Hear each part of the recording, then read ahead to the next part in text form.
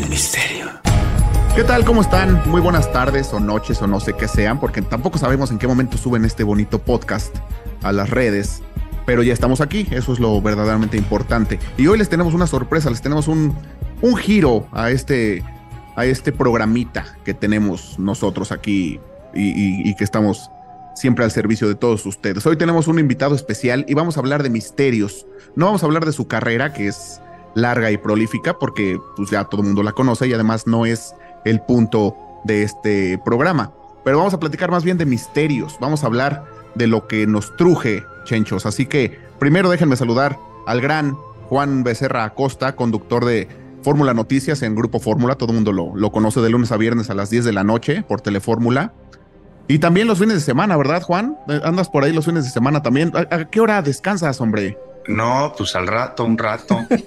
Sí, fines de semana de 7 a 10 de la mañana en el 104.1 y 1500 AM y ya en algunas repetidoras de los estados. Pero Sábado y domingo además. Fíjate nada más. O sea, te, te, hace falta roña para rascarte nada más. Saludo a mis compañeros y amigos. Juan Carlos Martínez, ¿cómo estás? ¿Qué tal? Muchísimas gracias. Mi querido Charlie Pérez, este, mi tocayo Juan y mi amigo Edgardo Morones. Muchísimas gracias. Qué bueno que andan por acá. Edgardo Morones, ¿cómo te va? Pues excelente, mi querido Charlie. Este, emocionado eh, con este invitadazo porque creo que nos vamos a divertir y va a ser muy interesante platicar con él. Siempre, siempre es muy interesante desde que nos lo encontramos ahí en el jardín de las extintas instalaciones de fórmula en universidad, fumando, como debe mm. ser pero bueno, esa era la, la, charla alrededor de un, de, del humo del cigarro, siempre es, siempre es interesante. ¿Cómo estás, querido Juan? ¿Cómo te va? Pues muy contento, muy bien, muchísimas gracias, muy honrado de esta invitación para hablar de temas oscuros. De temas muy, muy oscuros. Además, eres, eres nuestro padrino. Tenemos otra madrina que es Julieta Fierro, la, la, astrónoma de, de, la Universidad Nacional Autónoma de México gran, gran mujer también, científica de toda la vida. Ella nos apadrinó en la radio hace ya mucho tiempo hablando de, de universos paralelos. Nos dio unas explicaciones que, como somos un trío de imbéciles, no entendimos, pero lo, lo explicó muy bien. En aquel momento hablábamos de, de Dark, de, la, serie, de Dark. No sé si, si viste la serie de Dark, una serie en Netflix bastante muy divertida, muy enredada, pero con un tema central este, bastante bastante entretenido. Pero vamos a empezar por el y, y luego nos habló de viajes en el tiempo, una segunda ocasión. De viajes en el tiempo, de los agujeros de gusano y todo ese rollo. Pero vamos a empezar por el principio, querido Juan. A mí se me ocurre preguntarte, ¿crees en fantasmas? Pues mira, yo creo que las brujas no existen, pero de que vuelan, vuelan. ok. ¿Has, ¿Has, visto alguno? ¿Has visto algún fantasma? No sé. ¿Algún espectro? ¿Has tenido algún contacto ahí con lo sobrenatural? No sé, fíjate que no sé. Alguna vez eh, venía con un amigo en el coche y veníamos por el eje 6 antes de que construyeran los segundos pisos. A la altura de Augusto Rodán, que ahí está la Plaza de Toros, eje 6 y Augusto Rodán había un semáforo. Ya no lo hay porque ahí baja el segundo piso. Justo ahí junto al lado de donde está esta taquería famosa este, del Villamelón. Junto al estadio Sí, veníamos como a las 8 de la mañana, domingo, sobrios, porque es importante señalarlo. sí, sí, sí, sí. ok. y me llamó la atención que había un hombre parado a la mitad de la calle a la altura del semáforo, sobre el eje 6, digo, justo donde cruza Augusto Roda, a la altura de la Plaza de Toros. No sé si han visto un cuadro de Magritte que se llama Le Fils de l'Homme, que es un hombre con un sombrero de bombín y una manzana. Sí, sí cómo no. Bueno, igualito, pero sin la manzana en la cara. Me llamó la atención por la hora y la elegancia de esta persona. Y le digo a mi cuate, digo, mira nada más que hace ese, ese güey que hace ahí, parado a la mitad de la calle, así parado, detenido. Entonces lo volteamos a ver, pasamos y volteamos yo por el retrovisor y él por el espejo también, retrovisor de un lado y ya no estaba, no había nadie. A la fecha no me lo puedo explicar. No sé qué fue eso. ¿Qué hora era más o menos? 8 de la mañana. Ah, en la mañana, además, ya con luz de día. Sí, en la mañana no había tráfico. Íbamos nada más nosotros. Entonces, pues, si fue una alucinación, fue colectiva. O sea, porque éramos dos personas, te digo. Y nunca supe, nunca supe qué sucedió. Yo creo que es lo más cercano que he estado a una experiencia en donde no me puedo explicar qué es lo que sucedió con una aparición. Ok. Y, tú, mi querido Juan, siendo persona inteligente, de raciocinio, ¿le, ¿le, diste alguna explicación? ¿Te lo explicaste de alguna manera o qué pensaste? Es que no tengo ni idea qué fue. No tengo ni idea qué sucedió. Si corrió, si era un fantasma. No sé, o sea, no le encuentro ninguna explicación. Yo les voy a contar, tu pregunta es que si creo, yo no creo. No me gusta creer, yo estudio psicología y soy científico, no creo. Me gusta saber y lo que no sé, pues, pues no lo descarto necesariamente, pero tampoco lo doy como un hecho. No sé qué sucedió. No, no, no puedo creer en nada, porque sin ser ni lista tampoco, ¿no? Pero no me puedo explicar qué es lo que sucedió ahí. Lo que sí es que reconozco que fue muy extraño. Y a la fecha estoy hablando esto de haber sucedido hace 30 años, más o menos no tengo ni idea qué fue lo que sucedió. Y me sigue causando que cuando lo cuento se me pone la piel chinita, se me eriza la piel. No, pues, Yo siempre he pensado y lo he repetido. Lo he repetido aquí muchas veces que este tipo de experiencias le suceden a la gente que tiene la sensibilidad para soportarlas. Y yo en lo particular creo que no la tengo. Tampoco me ha pasado nada, nunca. Pero conozco mucha gente que sí. Entonces creo que es un asunto de sensibilidad. Y si no la tienes, pues ni se te acercan. Eso es lo que, eso es lo que yo pienso. Y hablando de, de tu carácter eh, científico, ¿qué crees entonces que haya después de la muerte? ¿Nos morimos y a dónde vamos? ¿A dónde vamos a dar la, conciencia, el espíritu, el alma, como le quieras llamar? ¿Qué hay después? Pues me parece que ya nada. O sea, nada en un sentido muy egocentrista, en un sentido muy vanidoso como somos las personas, porque si hay algo, nosotros no creo que tengamos conciencia de nuestra propia existencia. Entonces no habría nada. Nos convertimos en energía, llámale como quieras, en abono para las plantas.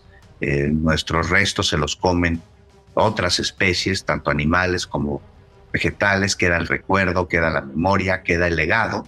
Pero si no tenemos conciencia de ello, pues entonces no creo que quede nada. Y no creo que tengamos conciencia porque la conciencia nos la da eh, la fisiología y nos la dan nuestro encéfalo, nuestro sistema nervioso central a través del sistema nervioso periférico y es una serie de elementos fisiológicos los que nos hacen pensar y reconocer y darnos cuenta de que existimos.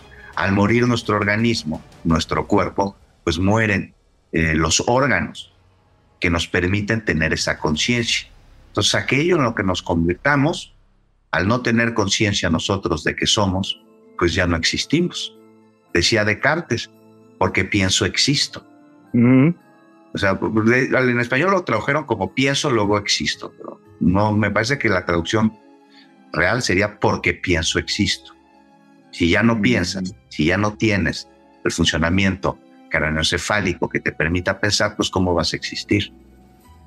Ok, oye, y, y como digo, aquí hemos platicado muchas cosas de muchos temas extraños, reencarnación, todo ese tipo de cosas. Y tú, digo, eh, siempre te hemos visto como hombre de noticias, ¿no?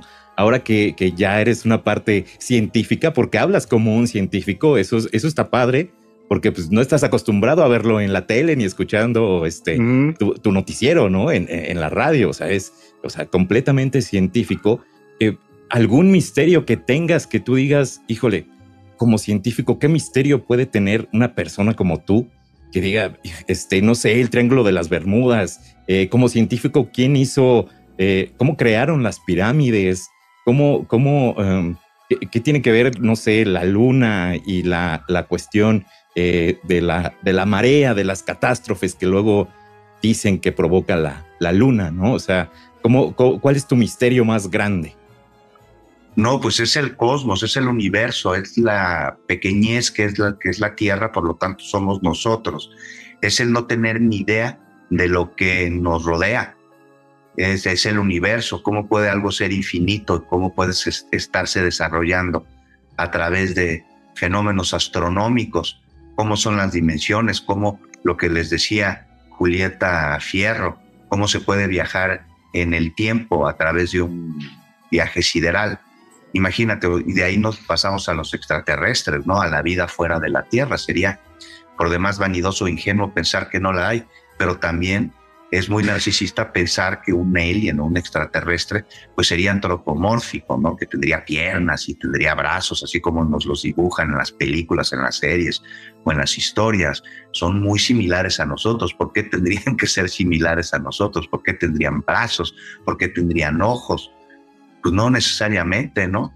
Y eh, pues finalmente nosotros también de alguna manera somos extraterrestres, estamos hechos de carbono, de eso están hechos las estrellas.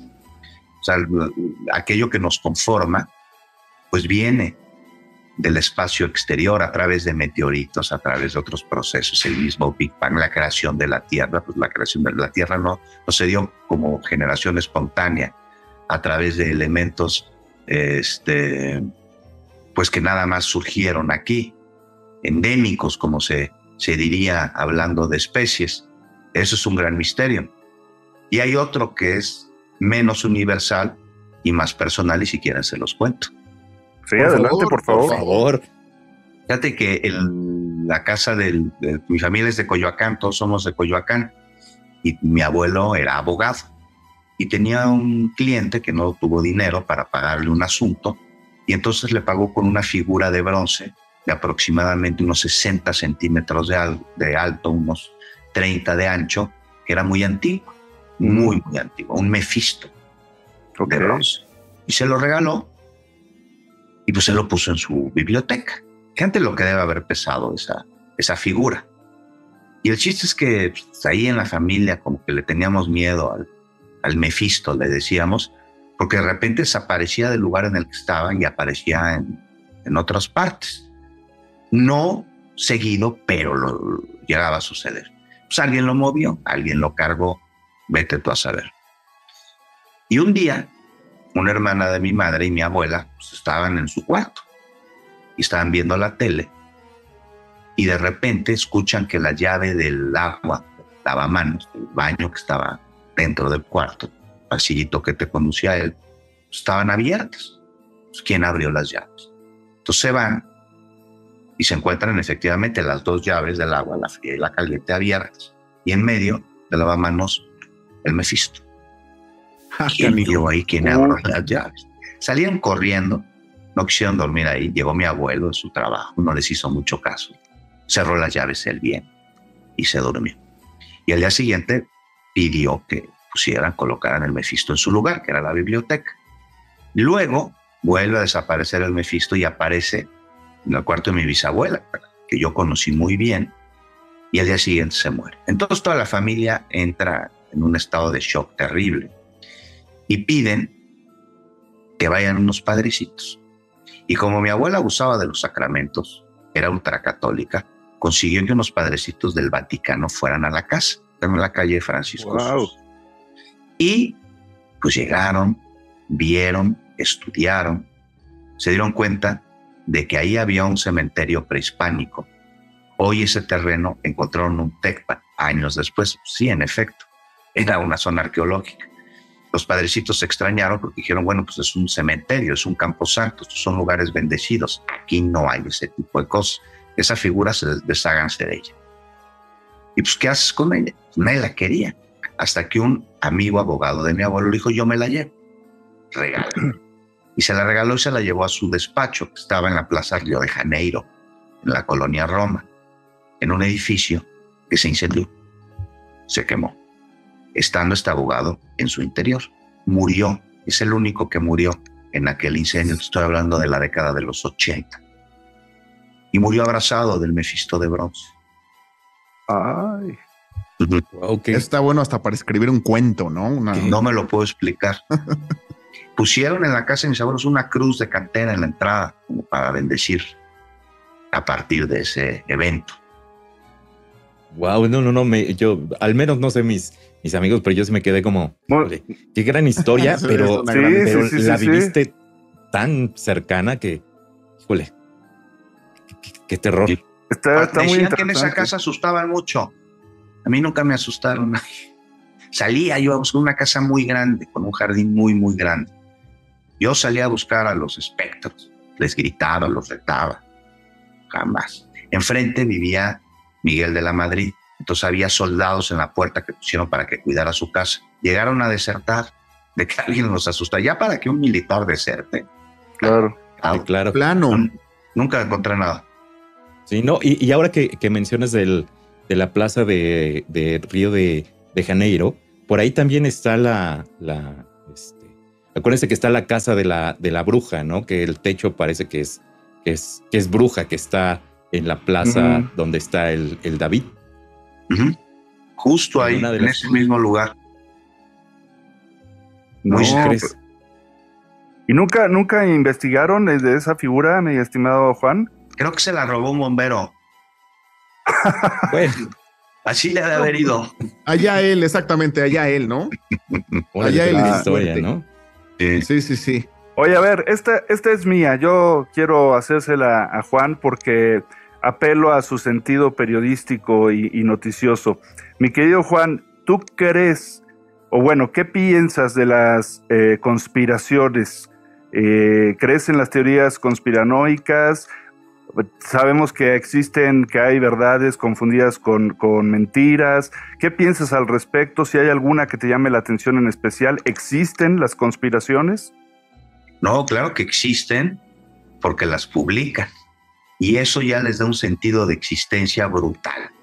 A eso súmale que tienen un enorme éxito y son divertidísimas. A mí me interesan enormemente y las leo algunas, las busco. ¿Te acuerdas esta de los Illuminati? Ajá, No, no son muy divertidas, son muy buenas. incluso me gustaría que hubiese más material, más material en video, más series de estas que puedes ver aquí en streaming. Eh, pero pues periodísticamente carecen de rigor. Sí, totalmente, totalmente. ¿Todas, ¿todas o crees que alguna pueda tener algo de verdad? Pues puede tener algo de verdad no comprobado en lo general, por ejemplo, lo que te decía de la existencia de vida y vida inteligente fuera del, planeta Tierra.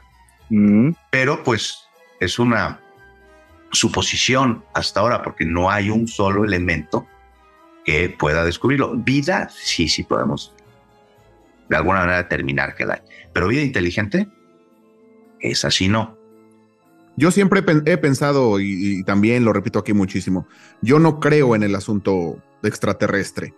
O sea, sí pienso que, como dice, sería muy egoísta pensar que estamos solos en el universo, con lo pequeñito que somos y con lo vasto que es el universo. ¿Debe haber vida en otros planetas? Pues sí, seguramente. Pero yo siempre he dicho que de eso, a que vengan acá a vigilarnos y estar atrás de los cerros y estar así agazapados y a ver a qué hora salgo y mira, me pongo encima del popo y después me echo a correr y eso me parece...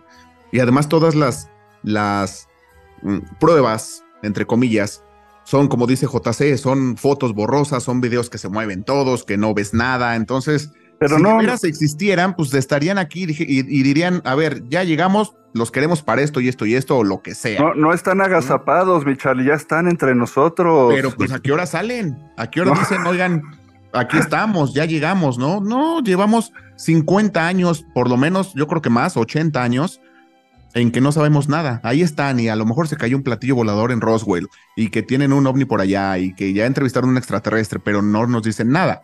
No sé tú qué opines de, de eso, Juan. Pues para qué viajarían y se meterían a la Tierra si no se van a manifestar. Y luego está el asunto ese de que somos nosotros mismos del futuro advirtiéndonos cualquier pendejada, ¿no? O sea, también si nos van a advertir, pues que nos digan qué, qué, qué rayos nos vienen a decir, ¿no? Y que nos digan bien, ¿no? Es como, como también el asunto de, pues de Dios, ¿no? ¿Te acuerdas que antes se manifestaba cada rato? No sé si, se acuerdan que una mano escribió en una pared, mandó un hijo. Mm, mm, ahorita pues tiene celulares, podría tuitear, ya no. Ya no, imagínate si, regresara el Hijo de Dios, ¿cómo lo trataríamos? Nadie le creería de entrada. Si realmente fuera, tampoco nadie, nadie le creería. Pues si fuera youtuber, tal vez sí, ¿eh? Tendría algo de influencia. Los seguidores. Oye, Juan, otro. Estando pero, igual y sí. Exacto, si fuera estando pero sí le creerían, por supuesto. Eh, pregunta rápida: ¿llegamos a la luna? Yo me parece que sí que claro, que llegamos a la luna. ahí está, por ejemplo, entra también dentro de las teorías de la conspiración. Esa teoría conspirativa dice que no, que no alcanzamos a llegar a la luna, que fue un montaje elaborado por Kubrick, por ejemplo. Sí, y ponen argumentos que científicamente se caen, pero que son muy divertidos y como la gente los quiere creer, pues entonces los cree. Es el mismo fenómeno que en infodemia política, por ejemplo, tú, si, si oyes una noticia que crees que beneficia a tus intereses, la das por buena. Lo mismo sucede aquí. Decían que la bandera, pues si no hay viento, que porque pues, es que no hay, no hay atmósfera, entonces pues no se cae la bandera. ¿Sí me entiendes? O sea. Además tiene, tiene un palito horizontal pues, mm. que, hace que, que esté. Y flota. Extendida, exactamente. Exactamente. flota, no. Pero bueno, aquí la pregunta es: ajá, llegamos en el, en el 69. ¿Por qué no regresamos? Hasta ahorita que ya están haciendo planes para regresar, pero jamás nos volvieron a decir. Yo entiendo el asunto de la, de la carrera espacial, la ganaron los Estados Unidos y ahí fue como que, bueno, se acabó la carrera, vamos a dejarlo de lado, ya, no me interesa regresar a la, a la luna. Entiendo eso, pero, pero jamás volvimos y jamás... ¿Para qué? Sí, a, eso, a eso me refiero pero pues nomás para mostrar el músculo, para alguna otra cosa, ¿no? Ya jamás regresamos, entonces... No, con la tecnología que hay ahorita... Sí, adelante, adelante. No digo, con la tecnología que hay ahorita a lo mejor sería mucho más fácil, pero pues ya ves que este, el trabajo que les costó que el, el último cohete, este, ¿cómo se llamaba, querido Edgardo, el, el cohete que lanzaron que va a la luna el año que entra? El, eh, Artemis. El Artemis, ¿no? Les costó cuatro intentos que despegara, ¿no? Entonces, pues ahí empiezas medio a dudar de la, de la tecnología, ¿no? Que porque se le salió el aceite y que porque estaba mal amarrado y no sé qué tantas cosas y total que no, nomás no despegó. Y hasta ahorita se les ocurrió decir, bueno, volvamos a la luna, ¿no? Y parece que en el 2025 vamos a tener otra transmisión quizás como aquella histórica del 69 donde desde allá dirán, pues hola, ¿qué tal? Ya estamos aquí de vuelta, ¿no? Pero será broadcasting, será un asunto meramente de audiencias, porque ya que regresamos, o sea, ¿para qué? ¿Para qué tanto gasto? Mejor, si vamos a enseñar músculo, hacemos películas como Rocky, eh, estamos hablando de la década de los 80, eh, hacemos toda una herramienta de manipulación de conciencias a través del cine, de las series, de televisión para crear una influencia de ese American Dream que exportaron a todo el mundo con las hamburguesas y con los refrescos de cola y con todas estas estos productos que han causado comorbilidades que mataron a miles durante el COVID, como el sobrepeso, la obesidad, este, salía más barato y daba mucho mejores resultados a la luna, pues ya fueron, ¿para qué? ¿Para qué repetirlo? Mejor lo explotamos y hacemos una película como esa maravillosa de Apolo 11, no sé si se acuerdan. Sí, cómo no. Y me acordaste también, querido Juan, de la, el libro de Crónicas Marcianas de Ray Bradbury, cómo llegan los humanos a conquistar Marte y lo empiezan a, polucionar y hay basura y montan este eh, changarros de hot dogs precisamente y todo esto, ¿no?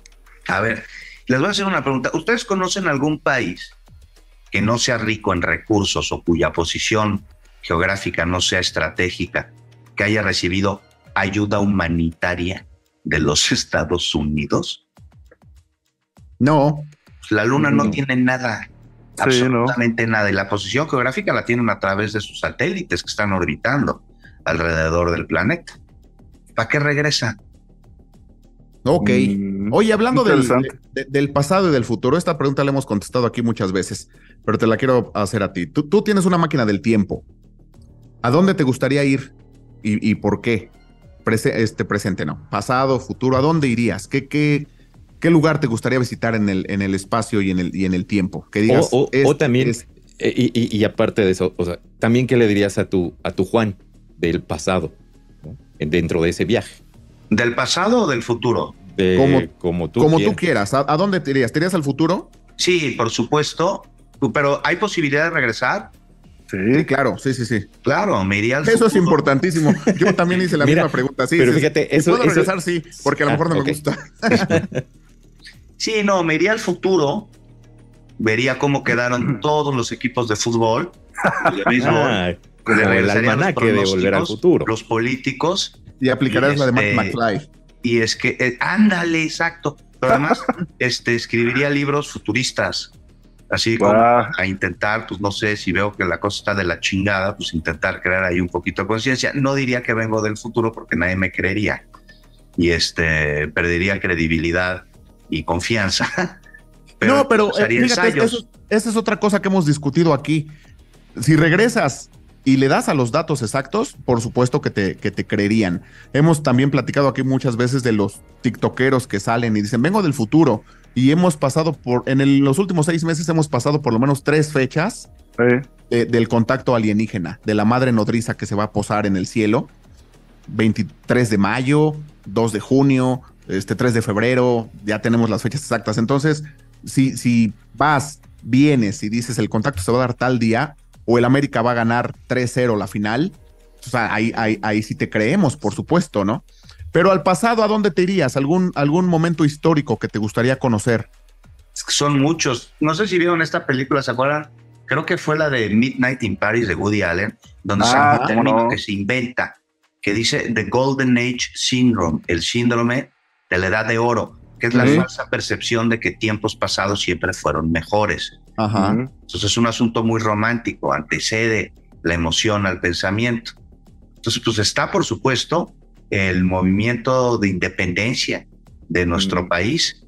Sería interesantísimo la época del Segundo Imperio, eh, que en algunos asuntos muy similar a la de ahora.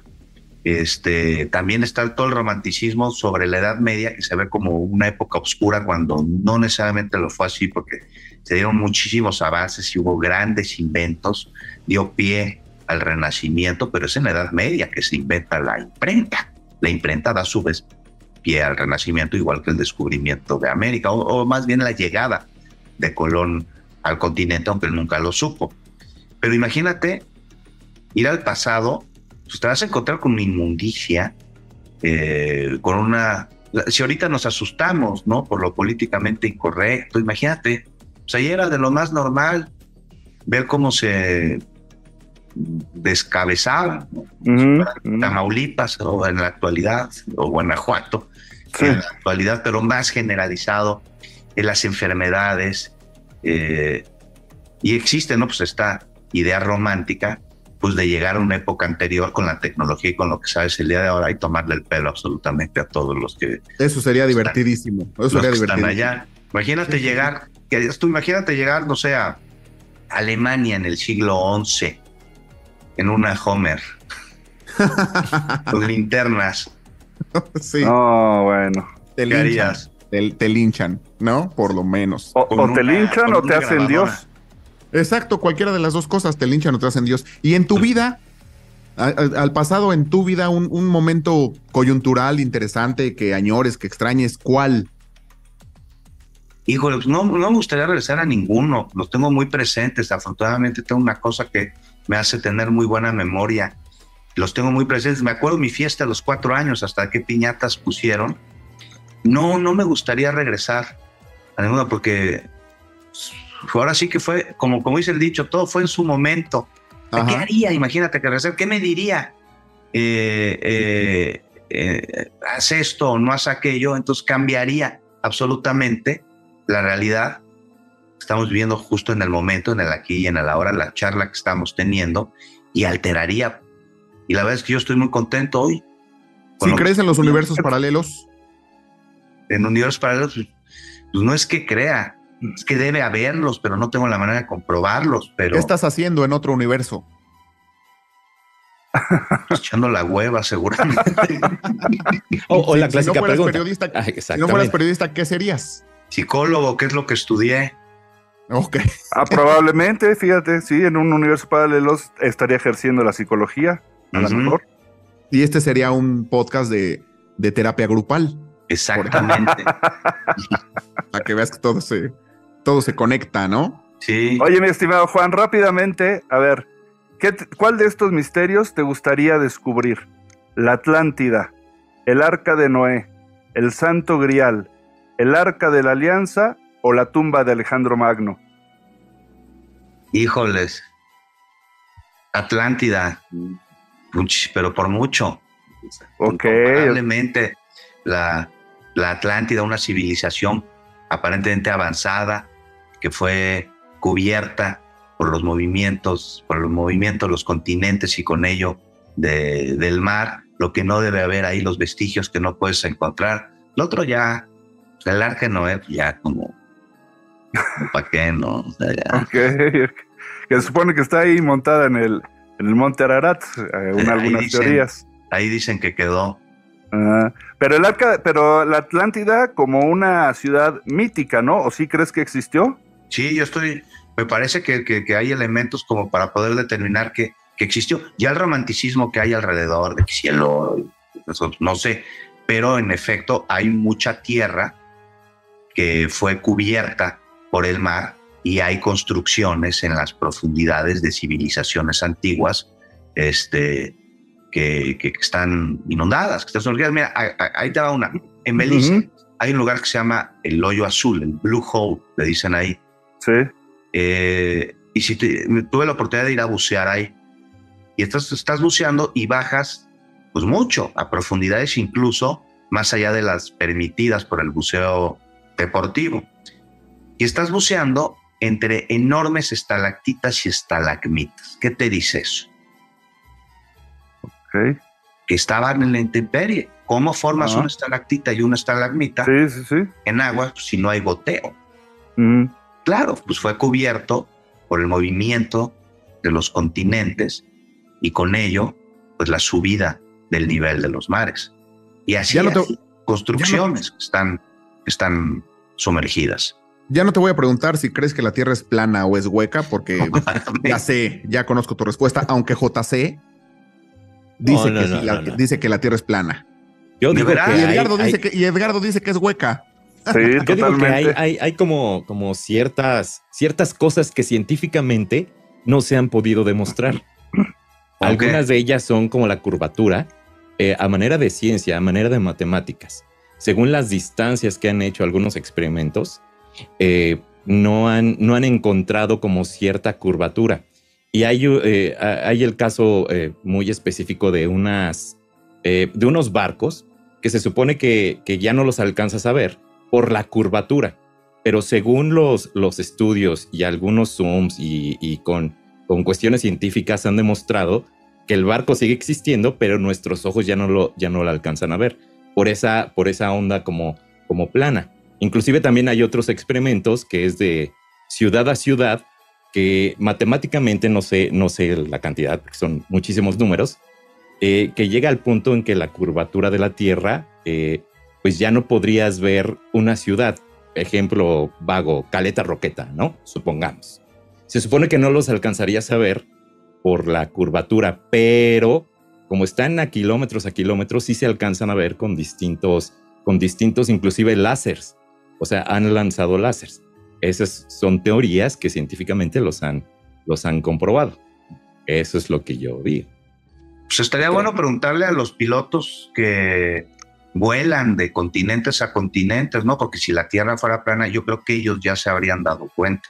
Un día le preguntamos a, eh, ahí en el noticiero de, José Cárdenas, entrevistó a José Hernández, el astronauta. Tu amigo. Este, mi amigo José Hernández, lo, entrevistó Pepe, y eh, cuando estaba en la sala de espera le pregunté, así derechito, le dije, oiga, ¿la Tierra es redonda? Y me dijo, sí, yo la he visto desde allá arriba. Ah, bueno, está bien. Yo le creo, así que... Eh. No, yo, yo, científicamente hablando, lo que ¿no? lo que no debes pensar y cómo se debe volar tu mente, estar fuera del planeta, ver a la Tierra, claro, ver claro. lo que alcances a apreciar alrededor. Yo creo que necesitas tener una salud psíquica muy cabrona para no volverte sí, Sí, sí, sí, sí, sí. Pero totalmente. dirían los argentinos, así se ve la tierra sin mí. ¿No? Y él, la vio desde ahí arriba. Entonces, ¿algo más, compañeros? ¿Tienen alguna otra pregunta para el gran Juan Becerra Costa? otra vez apelando a, su sentido periodístico, mi estimado Juan, las sociedades secretas, ¿qué opinas? ¿Qué te parece? ¿Te gustaría pertenecer o haber pertenecido a alguna? Pues sí, suena como muy padre, como muy romántico, como muy divertido ahí están y han existido desde hace muchísimo tiempo. Son pequeños cotos de poder, grupos eh, muy cerrados eh, que comparten ya sea poder o conocimiento o recursos y existen en todas las civilizaciones y en todos los niveles. Bueno, aquí en nuestro país influyó mucho una en específico, ¿no? Los masones. Claro. En la historia. Parece que era requisito para durante una época para ser presidente en México. exactamente. No, pero eso es de las secretas, pues ya de las menos, ya todos los secretos. Sí, sí, sí, totalmente. Y no, ya ha perdido fuerza. No tenemos ni idea. No, ya las que hablamos ya están muy platicadas, ya están muy aplaudidas. Las que ha de haber que nosotros no conocemos. Eso, exactamente. Las que no conocemos. Bueno, salió, salió más recientemente, por ejemplo, la de Skulls and Bones, ¿no? Allá en Estados Unidos y algunas otras que se han ido conociendo, que efectivamente que no son tan famosas, pero pues también tienen su lado escabroso, ¿no? Y, y oscuro y maligno. Eso dicen, como no formo parte de ninguna, no te podría decir, me encantaría poderme ahí inmiscuir en alguna sociedad secreta para conocer sus usos y sus costumbres. Debe ser de lo más divertido, pero no, no, y a un periodista menos lo vas a dejar. Imagínate. No, no, hay manera. Bueno, no hay manera. Pero, no se entrar a grupos parlamentarios del legislativo. Tampoco hay manera. Tampoco hay manera. ¿Algo más, JC? Pero es un buen tema, ¿no? También, Juan, para investigar y para llevarlo a lo mejor a los medios y hacer reportajes y todo esto. ¿Cómo ves? sin duda, y ver qué influencias tiene en el resto de la sociedad a través de los poderes fácticos que ejercen, hablando de las sociedades secretas con muchísimo, con muchísimo poder, ya sea político o económico. Entonces, ¿se que hubo un grupo delincuencial que quiso hacer su pequeño eh, grupo secreto ahí, su cofradía, que eran los caballeros templarios? Claro, pues desde el nombre.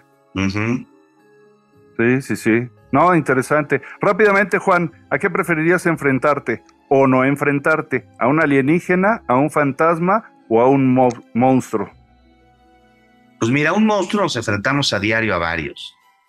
Así como tal, desde, conductores de coches, este, políticos, en fin.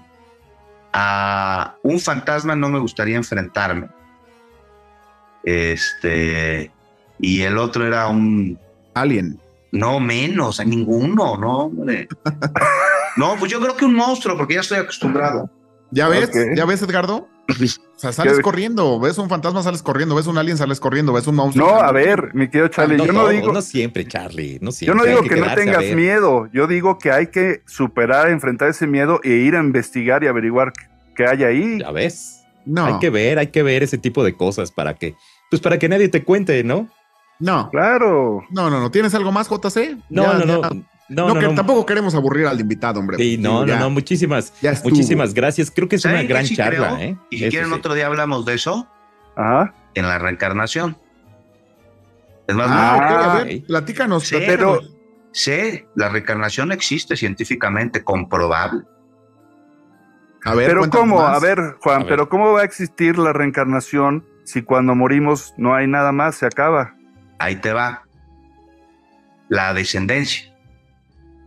Nosotros pasamos a nuestra descendencia en el momento de la concepción absolutamente toda nuestra información filogenética de cómo resolvimos ah, el contexto y a su vez la de nuestras generaciones anteriores. Y por eso tenemos las características físicas que tenemos, responden a cómo nuestros ancestros resolvieron su contexto en el entorno en el que se desenvolvieron.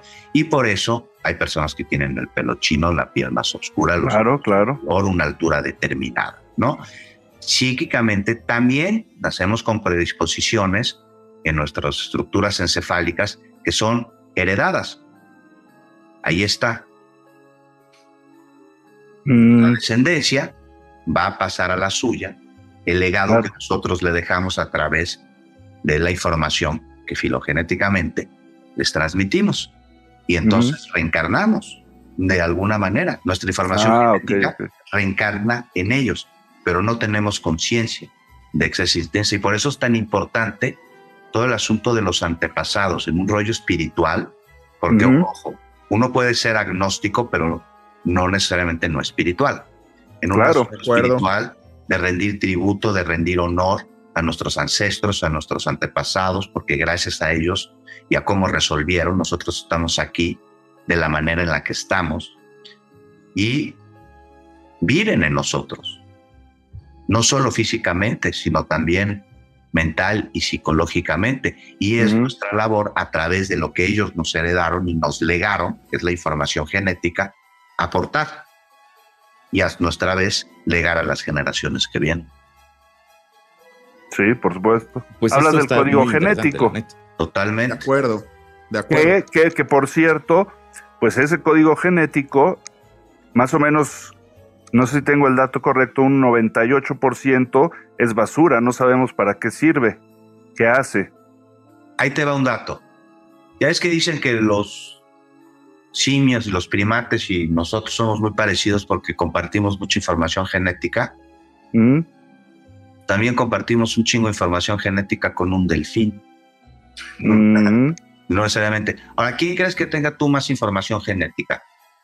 ¿Un humano como nosotros o una planta? No, yo creo que la planta. Sí. Es que la planta tiene la capacidad de regenerarse. Sí, sí, sí. Hay un incendio, se vuelve a dar. Nosotros tenemos piernas, ¿sabes por qué? Porque las necesitamos. Porque no podemos volvernos a, regenerar, no podemos regenerarnos. Si nos cortan una, no nos vuelve a salir. En fin, ahí está para, para, pues, no sé, echarnos un clavadito en este asunto egocéntrico y vanidoso que tenemos los seres humanos que nos creemos seres superiores. Y no, para, la reflexión, sí, no, no somos superiores a nadie, eso es una... Oye, muy interesante eh, esto que con lo que estamos cerrando y a propósito de, eh, aprovechando y abusando de tu movilidad, entonces, tú, por ejemplo, ¿cómo ves hacia dónde va la tecnología ahora que se habla mucho de la IA? Eh, ¿Vamos a acabar con nosotros mismos? ¿Ves un futuro apocalíptico? ¿Para dónde vamos? ¿Cómo lo ves? Mira, una especie como la nuestra, que construye su economía a través de la explotación de bienes no renovables, está destinada irremediablemente a la extinción y directamente proporcional a la velocidad en lo que hacemos que cada vez es mayor. Más allá de la inteligencia artificial, la devastación que estamos haciendo de nuestro planeta. No vamos, el planeta no se va a acabar. Te digo, somos tan egocentristas que nos estamos acabando la Tierra. Ni madres, estamos acabando nosotros. La Tierra ha sufrido glaciaciones, eh, meteoritos y se regenera. Lo que estamos acabando es con la especie y el planeta de alguna manera va a reaccionar para acabar con esta plaga que sí somos los seres humanos y que le estamos enfermando. Entonces, no sé si nos alcanza la inteligencia artificial, pero la madriza que le estamos poniendo a nosotros mismos, a la especie, a través de acabarnos, pues el agua, el alimento, el aire, y sobre la inteligencia artificial, tú pues, nunca va a tener la sensibilidad tenemos las personas, que nos da esto que no podemos todavía nombrar si es el alma, el pensamiento, la voluntad, aquello que nos construye la motivación para levantarnos toda la mañana, veo muy complicado que se pueda replicar a través de inteligencia artificial. Podrá repetir eh, algunos parámetros, pero no de la manera en que nosotros lo hacemos a través de cómo vamos significando los estímulos que estamos recibiendo día a día. Ok, interesante ese punto, fíjate, no lo había pensado, que ni siquiera lleguemos a desarrollarla tanto, ¿no? Porque nos vamos a extinguir antes. Por eso, por eso venimos del futuro y nos advertimos a nosotros mismos que ya dejemos de cagarla. Pero bueno, ya. Vámonos, Espérame, nada más quiero, quiero anotar una, una cosa que decía este Juan de, de, de que sí hay reencarnación. Ahí, ahí les va un dato para todos, ¿no? Inclusive para mí, porque lo leí el otro día, ya les va. Para nacer necesitamos dos padres, cuatro abuelos, ocho bisabuelos, dieciséis tatarabuelos, treinta y dos trastarabuelos, 64 pentabuelos. Ya, párale, vamos 128 exabuelos, 256 heptabuelos, 512 octabuelos, 1024 eneabuelos y 2048 decabuelos. Entonces son Imagínate la información que trae mi pobrecita hija. 11 generaciones y fueron necesarios 4094 ancestros para que nosotros tuviéramos la carga genética que tenemos hoy. Sí, sí, sí, es cierto. Es cierto. Por eso cuando yo hablo de mi tatarabuelo que era esclavo en Francia, pues sí, era mi tatarabuelo. Hay otros 15 que no sé de dónde vinieron, que también me mandaron información, ¿no? O sea, son, son demasiados. Imagínate por eso la información que traemos nosotros en, en nuestro código ya está muy loca. O sea, traemos complejos de todo mundo. Sí, no. Así es, enfermedades. También sí, todo, todo, todo. Y las mentales también, ¿eh? sí, las mentales, los complejos y todo, ¿no? Los miedos y cuanta cosa. Pero Está bien. Pues ahí la vamos a dejar. ¿no? Ahí, la vamos a dejar. Muchísimas gracias a todos, ¿eh?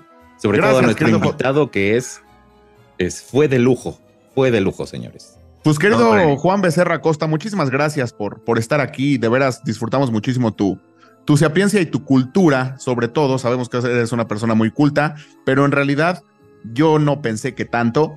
Ahora te admiro más y te respeto harto, lo sabes. Lo sabes. Admiración compartida y mutua a ustedes pues cuatro y agradecimiento total de que me hayan invitado.